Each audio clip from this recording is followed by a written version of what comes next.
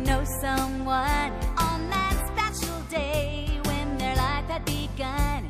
Do you tell them how you like them? Tell them how you need them? Or do like the rest of the world and just stand up and sing them happy birthday? Hey.